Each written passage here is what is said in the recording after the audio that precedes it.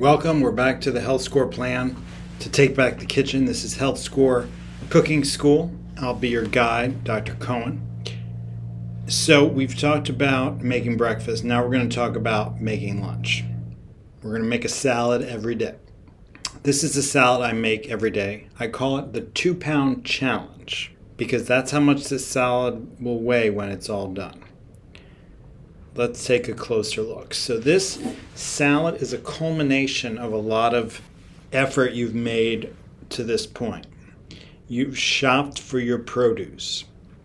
You've prepared whole grains that's sitting in your Tupperware in the fridge. You've prepared beans that's sitting in the Tupperware in your fridge. You've you've purchased fresh vegetables once a week. You've purchased specialty foods less often than that. You've bought avocados and you have seaweed on subscription. You've got eggs you bought for the week, herbs you bought for the week. You've got onions and garlic and nutritional yeast you've bought on subscription, as well as olive oil, balsamic vinegar, sriracha, and pepper. So I start with the salad. I weigh out 200 grams of salad, which is seven ounces. I'm a real stickler for this. If I don't have enough from the current head of greens that I'm using, I'll take another head and wash, spin, and add that to the uh, bowl. But I must have 200 grams of salad to begin with. I think part of the magic of my diet is the fact that I never feel hungry. And part of the reason for that is that I have large amounts of salad and vegetables in my day. So people think of salad as wimpy and not as filling as a steak. But when you have a salad that's two pounds and starts with seven ounces of greens, you you better believe it's you're going to feel full. If I can't get up to uh, 200 grams with just a salad, I'll throw in some seaweed. And then I add half a cup of whole grains. So I've got this Tupperware of whole grains that I've prepared every four days. I take a quarter of it, add that right now. Take a quarter of the refrigerated beans that I've have on hand, add that now.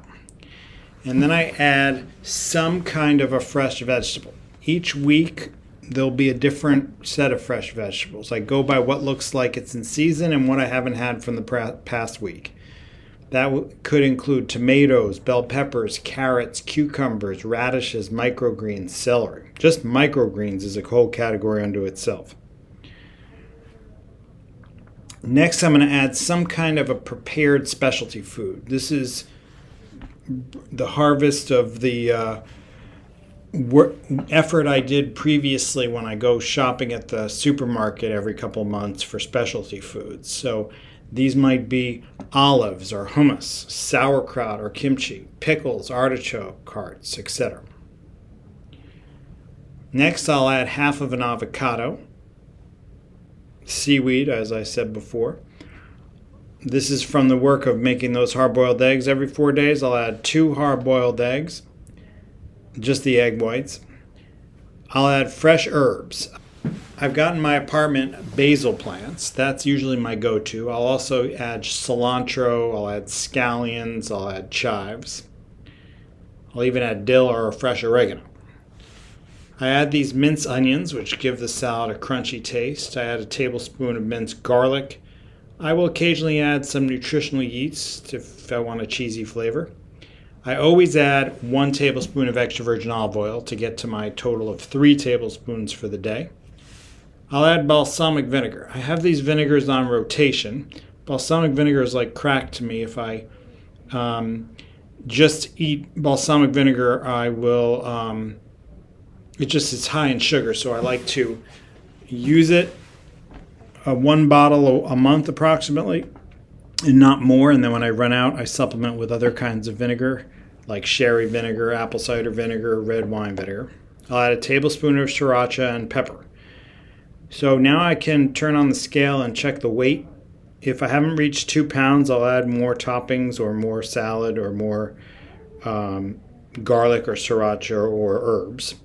Then I transfer it to this um, Rubbermaid container, which I bought previously in another lesson.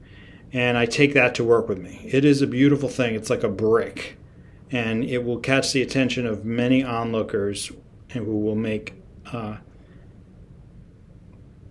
compliments to you and start conversations. Believe me, it happens to me all the time.